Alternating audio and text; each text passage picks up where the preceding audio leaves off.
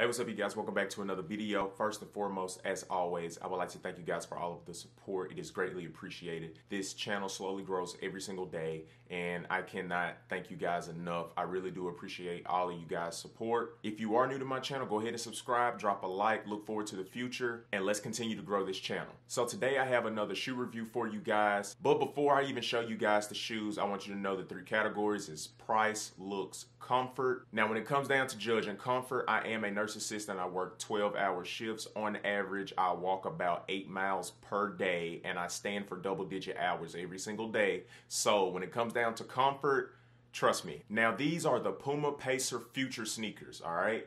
In the black and white colorway. Now, I will be throwing these on so you can get an on feet 360.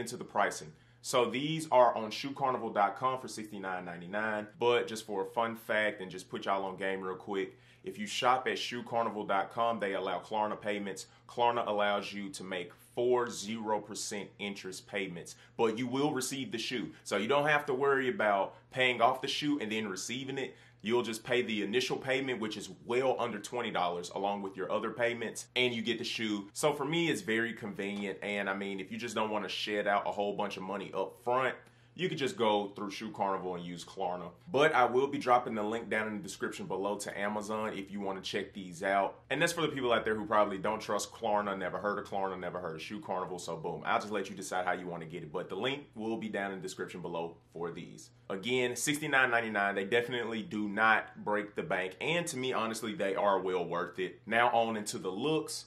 To me, these look very dope, okay? You got Puma on the back. Again, this is the black and white colorway. I just when I saw these, I just loved the design and they just looked super nice, okay?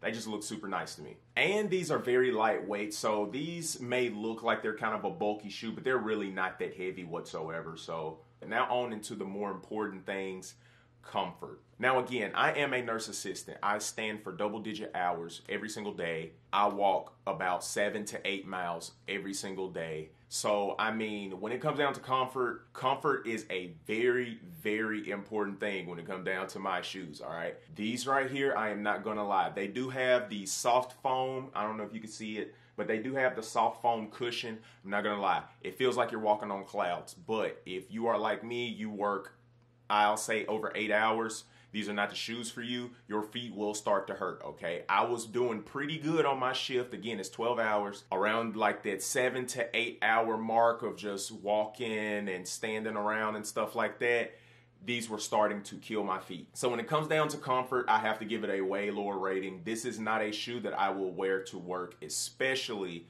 during 12 hours or like 15 hours. Now, if I'm on call and I have to go in for a couple of hours, I do not mind throwing these on, but 12 hours and up, it's a wrap. I am not doing it. I refuse to. I literally wish I had brought some backup shoes in my truck because that's how bad my feet were hurting. Like, it was ridiculous. But here you go. This one last look. All right. So, overall, the looks, I mean, come on now. You cannot say that's not a dope sneaker. All right. So the looks are there, all right? The pricing is only $69.99. $70 for this now. Eh, that is not bad at all. We all know there are some way uglier shoes that cost way more, but there's nor here nor there. But $70, you really can't beat it, all right? But comfort.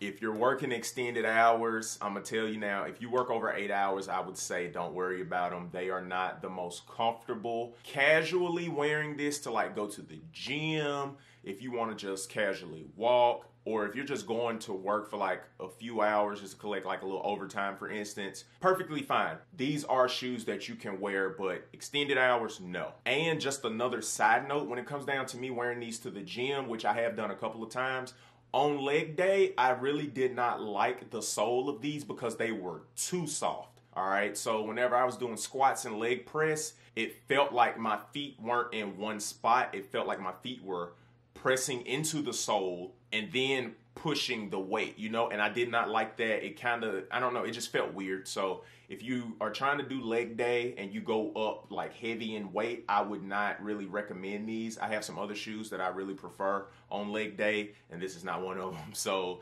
uh, out of five stars, I'll go ahead and give it like a three because comfort is like the biggest factor for me. I have to stand all those hours. I have to walk all of those hours. I have a lot of stuff to do in a day.